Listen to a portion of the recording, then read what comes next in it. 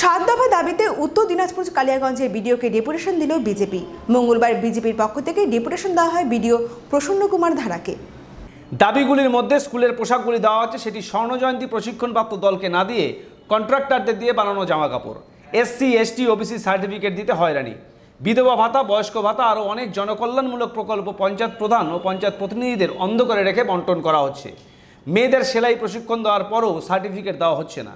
এই ডেপুটেশন কর্মসূচিতে উপস্থিত ছিলেন রূপক রায় তরণীকান্ত রায় তরুণ বসাক হরিগোপাল রায় কমল সরকার কার্তিক পাহান রানা প্রতাপ ঘোষের মতো বিজেপি নেতারা। বিজেপি নেতারা জানান সাত দফা দাবি মানা না হলে আগামী দিনে আরও বৃহত্তর আন্দোলনে সামিল হবেন তারা। আজকে ভিডিও বেশি এসেছিলেন আপনারা? ভিডিও বেসে কারণ আসার কারণ হচ্ছে আপনারা জানেন আমাদের কালিয়াগঞ্জ ব্লকের মধ্যে ষাটটা পঞ্চায়েত, তার মধ্যে, আটটা পঞ্চায়েত, তার মধ্যে ষাটটাই আমাদের প্রধান। কিন্তু বিভিন্ন সরকারি প্রকল্পগুলো, পঞ্চায়েত প্রধান, পঞ্চায়েত প্রতিনিধি ইভেন পঞ্চায়েত সমিতি সদস্য যারা আছে, তাদেরকে অন্ধকারে রেখেই বিভিন্ন প্রকল্পগুলো এখানে হচ্ছে। আর সেই প্রকল্পগুলো যেন আমাদের পঞ্চায়েত প্রতিনিধি, পঞ্চায়েত সমিতি প্রতিনিধি, তাদেরকে জানিয়ে করা হয়, তার জন্য আমরা এই দাবি তুলেছি আর হচ্ছে, বিভিন্ন যেমন এসসি, এসটি, ওবিসি, তাদের যে সার্টিফিকেট এই সার্টিফিকেটগুলো খুব তাড়াতাড়ি হওয়ার কথা।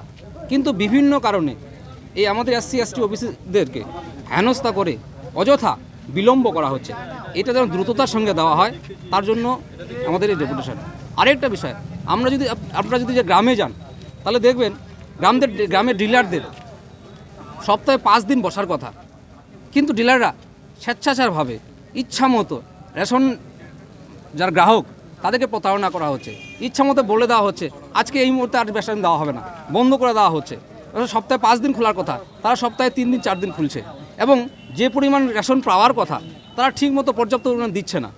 তো এটা যেন বিডিও সাহেব ওনার যে দপ্তর আছে ফুড সার্ভিস দপ্তর সেটা তত্ত্বাবধান করেন এবং গ্রাহকরা ঠিক উপযুক্ত যার যেটা প্রাপ্য সেই প্রাপ্যটা পান সেটার নজরদারি করার জন্য আমরা আপনার এলাকায় কোন কোন জায়গাতে সব থেকে রেশনের দুর্নীতি হচ্ছে?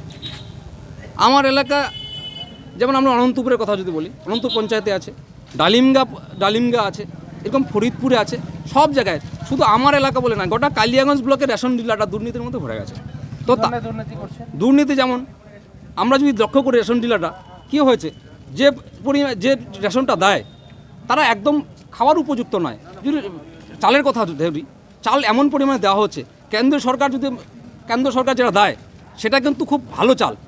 এবং তার পরিমাণে যে বরাদ্দ হয় খুব একটা ভালো পরিমাণে টাকা বরাদ্দ হয়। কিন্তু রেশন ডিলাররা কী করছে? যেটা বরাদ্দ করছে, যেটা দিচ্ছে গ্রাহকদেরকে, সেটা খাওয়ার উপযুক্ত নয়। পচা চাল, অনেক সময় সেই চালের মধ্যে পোকা ধরে গেছে, যেটা খাওয়ার উপযুক্ত না হওয়ার ফলে রেশন ডিলাররা কী গ্রাহকরা কী করছে আমার? গ্রাহকরা ওখানে রেশন নিয়ে দোকানে কিছু টাকা দামে বিক্রি করে দিচ্ছে। তথা খেতে পারছে না। যেটা আটা দেওয়া হচ্ছে, সেই আটার মধ্যে ধানের তুষ। অর্থাৎ যে যে পরিমাণ আটা থাকার কথা, তার থেকে ম্যাক্সিমামটা ধানের তুষ বেরিয়ে যাচ্ছে। অর্থাৎ সেটা তারা খেতে পারছে না। তারা কী করছে? না খেতে পেয়ে ওখানে বিক্রি করে দিতে বাধ্য হচ্ছে। এরকম হচ্ছে।